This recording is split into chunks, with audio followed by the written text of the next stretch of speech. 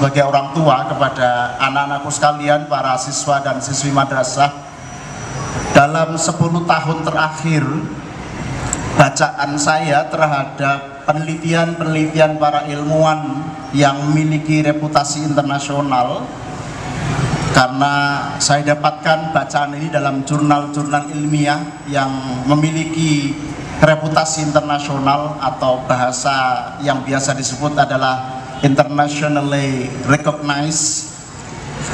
Dalam 10 tahun terakhir, para ilmuwan menyampaikan atau menulis hasil riset mereka dan ada dua kata kunci yang menarik yang ini saya sampaikan pada sore hari ini. Pertama, mereka menyatakan, bukan memprediksi tapi menyatakan bahwa dalam 10 tahun terakhir dalam penelitian mereka sedang terjadi the shift of power atau peralihan kekuatan dari barat menuju ke timur. Ini yang pertama, kata kunci yang pertama. Dan kata kunci yang kedua adalah decline of Europe, kemunduran Eropa, decline of the West, kemunduran barat, dan decline of the US atau kemunduran Amerika. Ini tentu bukan dari saya, tapi dari analisis para ilmuwan sosial yang tadi disebutkan dalam beberapa jurnal jurnal internasional yang menurut saya menarik untuk saya sampaikan memberikan semangat kepada anak-anakku sekalian para siswa dan siswi madrasah CNTB. Dalam 10 tahun terakhir sedang terjadi pergeseran kekuatan dari barat menuju ke timur, maka anak-anak sekalian mungkin bisa melihat Korea, Jepang, Cina, India, dan Indonesia menjadi salah satu kandidat negara berikutnya yang akan menjadi kekuatan besar dunia. Lalu tengah terjadi decline of the West atau kemunduran dunia Barat, decline of Europe atau kemunduran Eropa dan decline of the US atau kemunduran Amerika.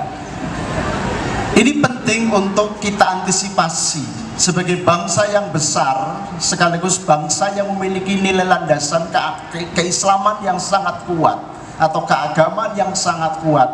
Anak-anakku sekalian adalah calon-calon pemimpin di masa-masa mendatang. Anak-anak madrasah adalah calon-calon pemimpin Indonesia di masa mendatang sehingga kalian membutuhkan modal intelektualitas sekaligus moralitas tidak boleh dipisah antara intelektualitas dari kemampuan berpikir dan moralitas yakni akhlakul karimah. Tidak cukup orang hanya pinter tetapi harus juga benar tidak cukup orang hanya benar tetapi harus pinter. Dan saya yakin, seyakin-yakinnya bahwa orang yang pintar dan benar akan lahir dari rahim madrasah di masa-masa yang akan datang. Oleh karena itulah mengagama kemudian Kementerian Agama menyelenggarakan kompetisi sains madrasah. Ibu Asisten 1, saya informasikan Pak Wali, para bupati dan wali kota SNTB, kompetisi sains madrasah ini diselenggarakan oleh Kementerian Agama sejak tahun 2008 kalau saya tidak keliru jadi sudah jalan 11 tahun yang lalu atau 11 kali. Ini dilandasi oleh kita ingin memberikan sesuatu yang terbaik. Pemerintah sebagai fasilitator ingin memberikan ruang bagi tumbuhnya nalar kritis yang dilandasi dengan basis religiusitas atau nilai-nilai keagamaan. Oleh karena itu, ketika para pengamat tadi, para ilmuwan yang sudah menyatakan ada kemunduran di dunia barat, lalu tengah terjadi pergeseran kekuatan ke dunia timur, what we are going to do, what we have to do, kira-kira begitu. Apa yang harus kita lakukan sebagai generasi bangsa, generasi penerus bangsa ini. Saya nitip lima hal untuk anak-anakku di madrasah yang ini saya ambil bukan dari bacaan buku berbahasa barat tetapi saya ambil dari nasihat ulama. Nanti bisa dicek apalagi anak-anak madrasah di NTB yang rata-rata atau banyak yang berbasis pesantren. Nanti dicek sumbernya adalah Alfiyah Ibnu Malik.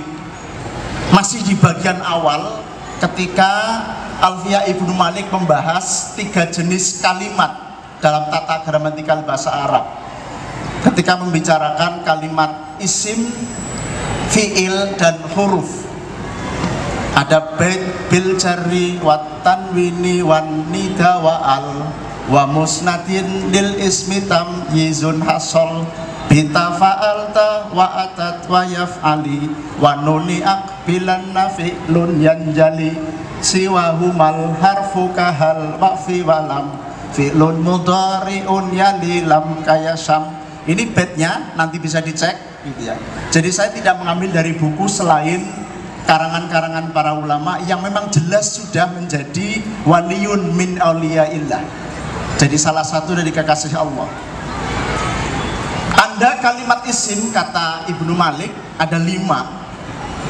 Yang ini saya titipkan kepada anak-anakku sekalian siswa dan siswi madrasah khususnya di NTP untuk memiliki lima karakter memiliki lima sifat memiliki lima nilai dalam diri kalian untuk menghadapi apa yang disampaikan oleh para ilmuwan tadi.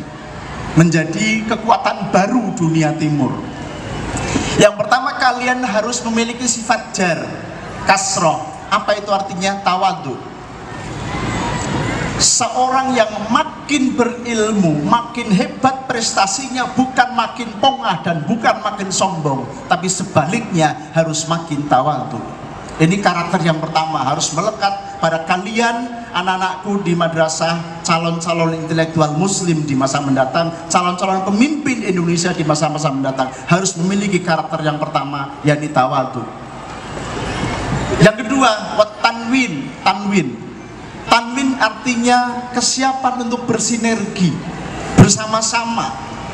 Kalau kita mampu bersama-sama, apa pun sesuatu yang berat itu akan menjadi ringan. Sesuatu yang sulit akan bisa kita selesaikan karena kita bisa bersama-sama. Tanwin. Jadi yang pertama tawadu, yang kedua harus bisa bekerja sama. Bersama-sama. Yang ketiga nida, Nida itu artinya responsif. Sebagai generasi milenial seperti disebutkan tadi oleh Ibu Asisten satu, kalian adalah calon pemimpin Indonesia di masa mendatang. Sehingga ketika dunia sudah makin berubah, masyarakat makin berubah, maka diperlukan responsivitas atau cepat tanggap terhadap perubahan. Ini karakter yang ketiga, responsif. Yang keempat, al Tanda isim yang keempat menurut Ibnu Malik dalam alfiahnya artinya generasi muda muslim para ilmuwan-ilmuwan muslim alumni-alumni madrasah atau siswa dan siswi madrasah harus memiliki karakter al yakni memakrifatkan orang lain. Al memiliki fungsi untuk mendefinitkan sesuatu yang belum definit atau memakrifatkan isim yang nakiro. Sehingga kalian para calon ilmuwan dan calon pemimpin memiliki karakter mudah untuk berbagi, suka untuk berbagi dan suka untuk mencerdaskan masyarakat di sekeliling Anda, di sekeliling kalian. Memiliki karakter al yakni memakrifatkan lingkungan sekitar. Kemudian yang kelima wa musnadin lil ismi tamyizun hasol. Karakter yang kelima yang ingin saya titipkan adalah musnad yakni Anda para siswa dan siswi madrasah mampu bersikap proporsional. Apa itu proporsional? Proporsional tentu sesuai dengan situasi dan kondisi. Ketika membutuhkan kebersamaan, maka harus bersama-sama. Tapi ketika harus melahirkan sebuah keputusan, harus segera diambil keputusan Mungkin tidak perlu banyak musyawarah karena kalau musyawarah terlalu lama nggak selesai-selesai, nggak ada keputusan-keputusan. Padahal keputusan itu sangat penting. Jadi lima nilai yang saya ambilkan dari Alfia Ibnu Malik ini adalah salah satu resep yang saya yakini menjadi persiapan bagi kalian siswa dan siswi madrasah melalui kompetisi sains madrasah ini untuk menjelmakan diri kalian menjadi calon-calon ilmuwan dan calon-calon pemimpin bangsa kita di masa-masa yang akan datang.